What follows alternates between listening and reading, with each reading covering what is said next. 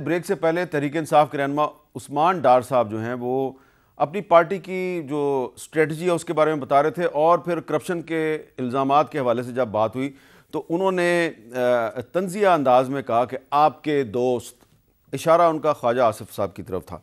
तो हम इनकार तो नहीं करते लेकिन आ, मैंने सिर्फ़ मुनासिब समझा कि ये प्रोग्राम के आखिर में थोड़ी सी वजाहत कर दूँ।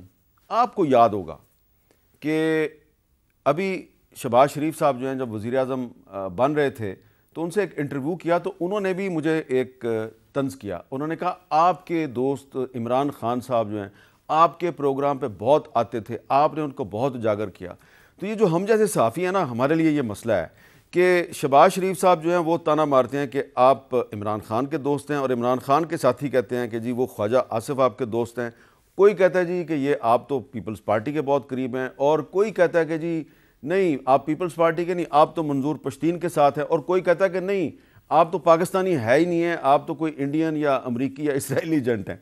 तो हम पर ये इल्ज़ाम लगते रहते हैं। लेकिन मैंने ये मुनासिब समझा कि ये मैं बता दूँ कि उस्मान डार साहब को लगता है कि ख्वाजा आसफ़ मेरे दोस्त हैं। ख्वाजा आसफ़ साहब को शबाज शरीफ साहब को लगता है कि जी हमारा टिल्ट जो है वो माजी में इमरान खान साहब की तरफ़ रहा है।